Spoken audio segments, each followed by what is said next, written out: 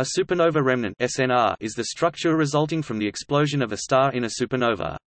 The supernova remnant is bounded by an expanding shock wave, and consists of ejected material expanding from the explosion, and the interstellar material it sweeps up and shocks along the way. There are two common routes to a supernova, either a massive star may run out of fuel, ceasing to generate fusion energy in its core, and collapsing inward under the force of its own gravity to form a neutron star or a black hole, or a white dwarf star may accrete material from a companion star until it reaches a critical mass and undergoes a thermonuclear explosion. In either case, the resulting supernova explosion expels much or all of the stellar material with velocities as much as 10% the speed of light or approximately 30,000 km per second.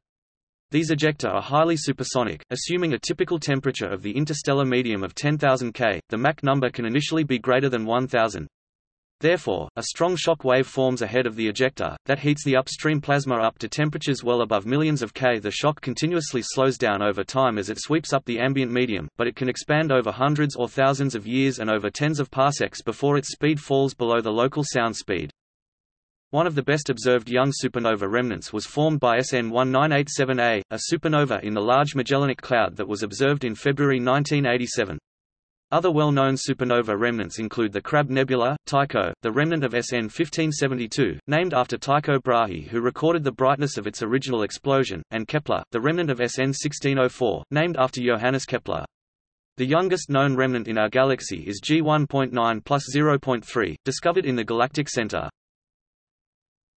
Topic stages An SNR passes through the following stages as it expands, free expansion of the ejecta, until they sweep up their own weight in circumstellar or interstellar medium.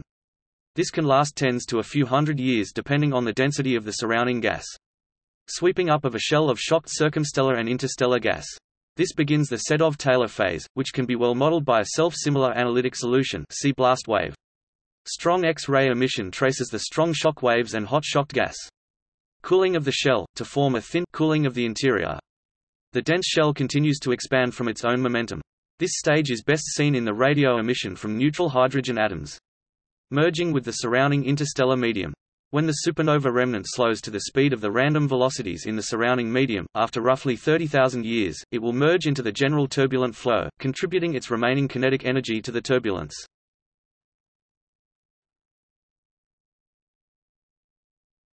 Topic: Types of supernova remnant. There are three types of supernova remnant. Shell-like, such as Cassiopeia A. Composite, in which a shell contains a central pulsar wind nebula, such as G11.2 to 0.3 or G21.5 to 0.9. Mixed morphology also called thermal composite remnants, in which central thermal X-ray emission is seen, enclosed by a radio shell. The thermal X-rays are primarily from swept-up interstellar material, rather than supernova ejecta. Examples of this class include the SNRs W28 and W44. Confusingly, W44 additionally contains a pulsar and pulsar wind nebula, so it is simultaneously both a classic composite and a thermal composite. Remnants which could only be created by significantly higher ejection energies than a standard supernova are called hypernova remnants, after the high-energy hypernova explosion that is assumed to have created them.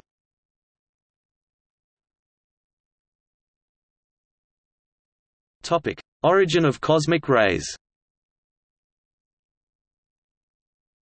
Supernova remnants are considered the major source of galactic cosmic rays.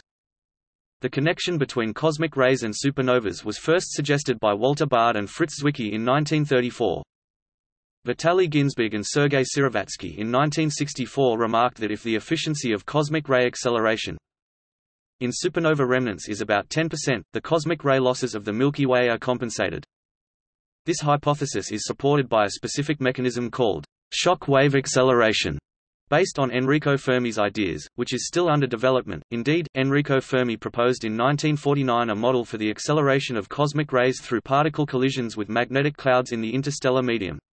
This process, known as the second-order Fermi mechanism, increases particle energy during head-on collisions, resulting in a steady gain in energy.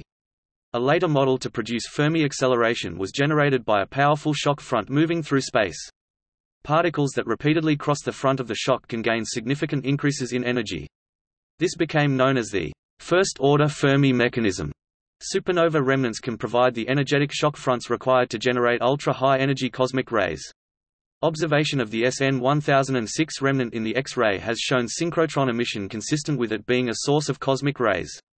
However, for energies higher than about 1018 electron volts a different mechanism is required as supernova remnants cannot provide sufficient energy. It is still unclear whether supernova remnants accelerate cosmic rays up to PeV energies. The future telescope CTA will help to answer this question. See also